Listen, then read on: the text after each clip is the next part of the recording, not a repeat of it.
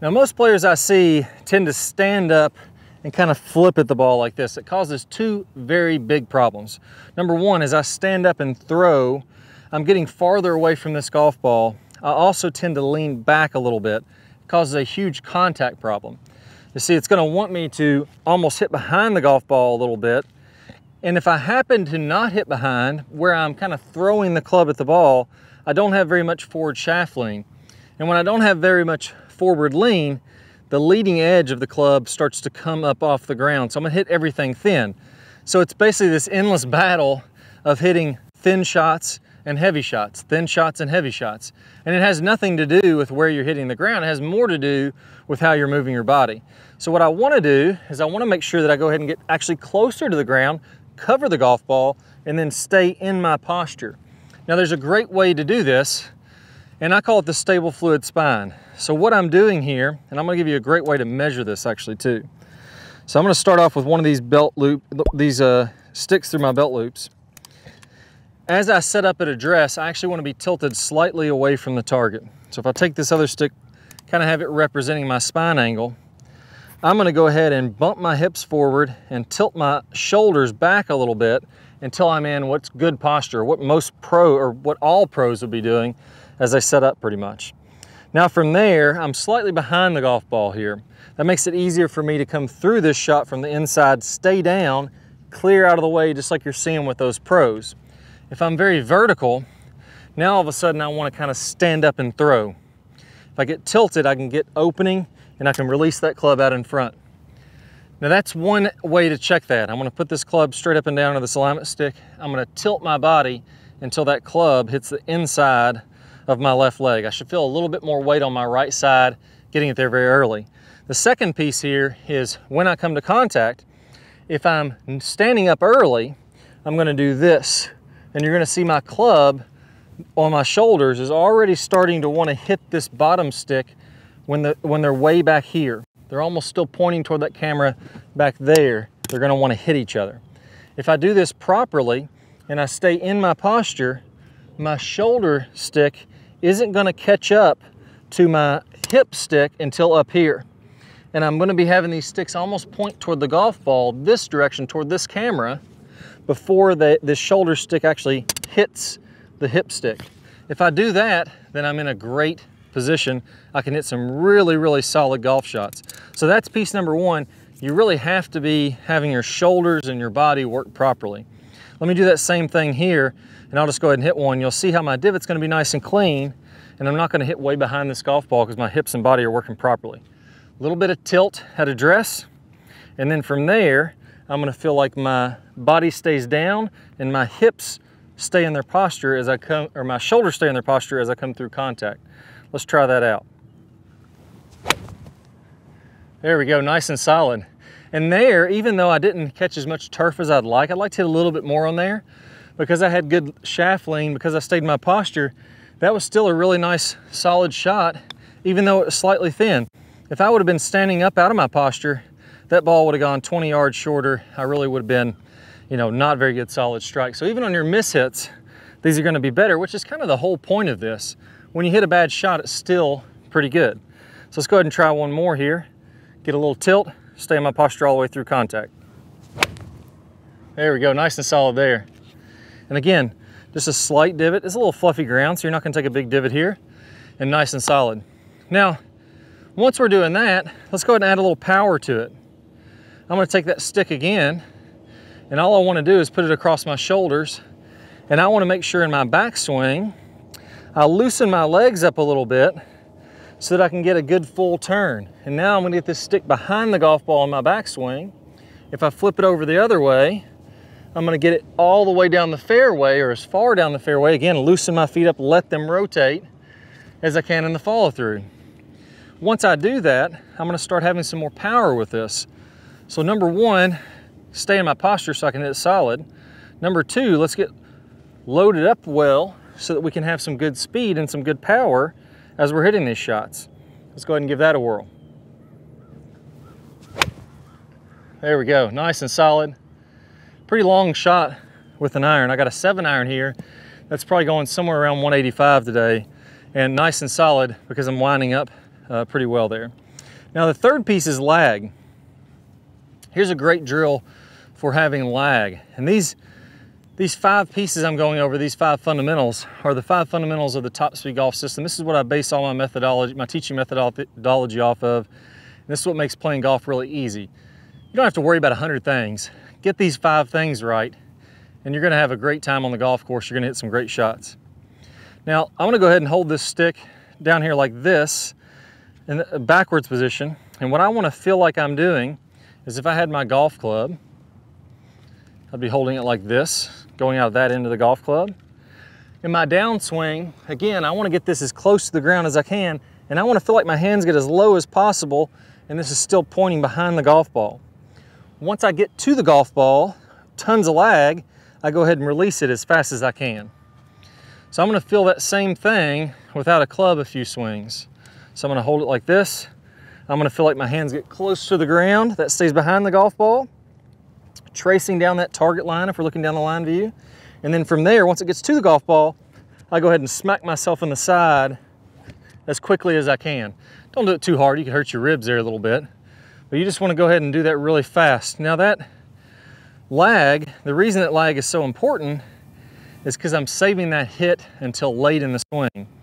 I'm saving up all that potential energy until late in the swing and then bam, I'm letting it go. I'm getting all that speed at contact instead of casting back up here, letting that club release and then having nothing left for the hit down at the bottom. So I'm gonna feel like I'm getting that stick behind the golf ball and then I'm not gonna release that until the last second. Then I'm really gonna let it fly. There we go. Add a little speed to that one. That one went a long way. Had a nice sound to it as I started to ramp up the speed, starts feeling even better. Now the fourth piece is what I call the straight line release, and that ties in exactly with what we just talked about. So even if you have all the lag in the world, it's not gonna do you any good if I don't get rid of it.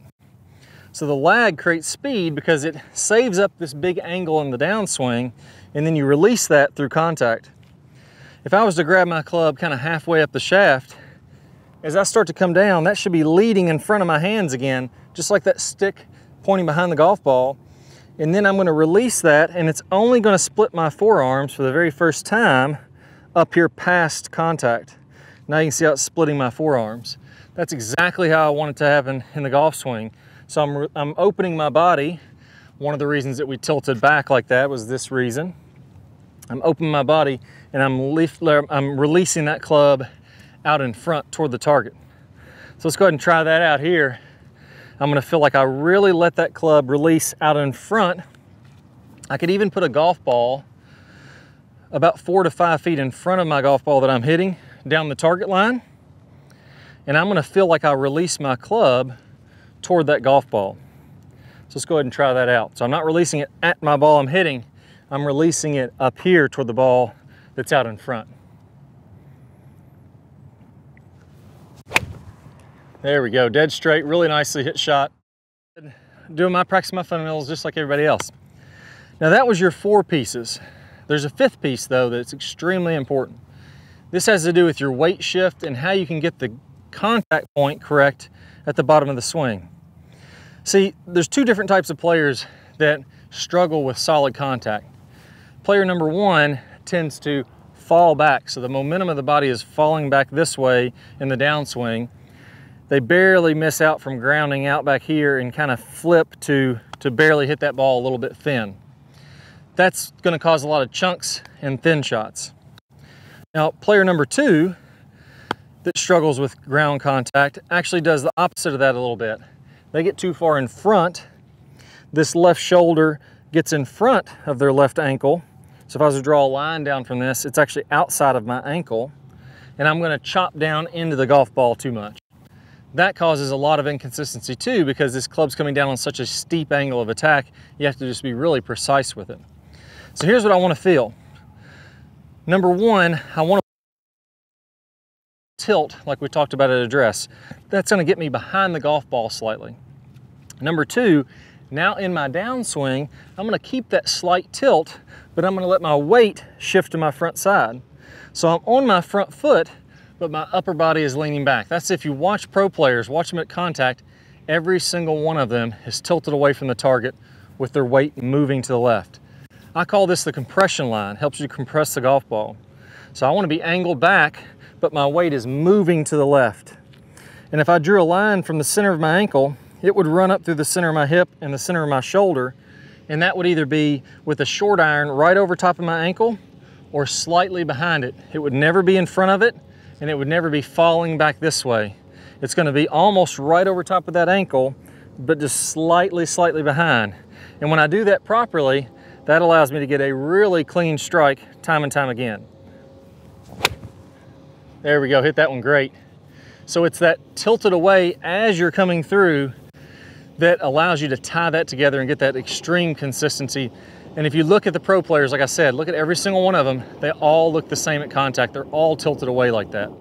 Now, if there's one thing that I had to pick that would make a lot of this stuff work really well, it would be lag. So if I can get my club to lag and I can be kind of behind this golf ball, I'm gonna get it to release out in front. I'm gonna get it to do a lot of things that I want. Most players, I would say almost all players that I see, tend to stand up and start casting this club right away. They're losing that lag. And once that happens, it's gonna be almost impossible to get any of these five pieces to work correctly. Now I have one of my favorite videos that I'm gonna show to you for free here in just one second. It's called the knuckle dragger, and this ties a lot of these pieces in. In this video, I'm gonna talk about how we get set up in our good posture, we get our knuckles of our hand to start working in a particular way down through contact. And once you start to learn how these knuckles should work through contact, it gets a lot easier to get lag. It gets a lot easier to get that straight line release. All this stuff starts pairing together. It all starts to fit together like a hand in a glove. So check out this preview of the video. Go ahead and click the link that you see. There should be an iCard somewhere on your screen. Once you click that, you'll get instant access to that video. If you don't see the iCard, don't worry about that go down below in the description and click the link there. It'll take you right over to that knuckle dragger video, which is one of my absolute favorites. You're gonna love this thing, and you're gonna start finally getting that lag, that release out in front that you've always wanted to have. I can't wait to share with you the secrets to making this happen. I'll see you in the knuckle dragger. I got an awesome video for you. This one is what I call knuckle dragger. And this is one of the best ones, one of the big missing pieces to players that are struggling to get more lag. Now, let's talk about when you lose lag, what's happening. A lot of times what's happening is as you make your downswing, if we're looking from this down the line view, what happens is my hips go toward the golf ball, they start to slide forward. My chest moves back away from this golf ball, so I'm getting farther away from the golf ball, and then all of a sudden I cast, I flip, and I don't have a lot of lag there. Well, look how far my hands are away from the ground. Also notice when I get my hands closer to the ground, so as my hands get lower, then what happens is they also go forward more. So as I want to have more lag, when you feel like your knuckles are dragging the ground, then that club is naturally going to lag back behind, and then you're going to release that out in front.